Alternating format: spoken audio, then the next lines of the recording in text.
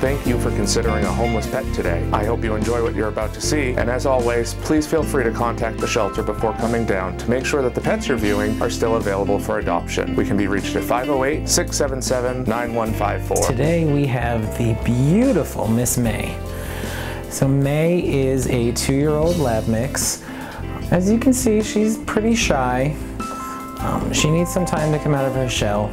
May would do best in a home with no children, just because she is pretty shy and children would probably be too much for her. She does, however, absolutely love other dogs, and when there's another dog around, you will see an entirely different May. She is very happy, very energetic, very loving, and all she wants to do is play. She also doesn't seem to mind cats, so if you have a cat at home who would like a dog friend, May might be the one for them. If you want to see May reach her full potential, best to have her in a home with another dog. Come on down to Forever Paws Animal Shelter at 300 Linwood Street and say hi. Hi, welcome to Hot Dogs and Cool Cats. Today we have Mildred. Uh, Mildred here is three and a half years old. As you can see, she's taking a little bit of a nap, but she's a really sweet cat.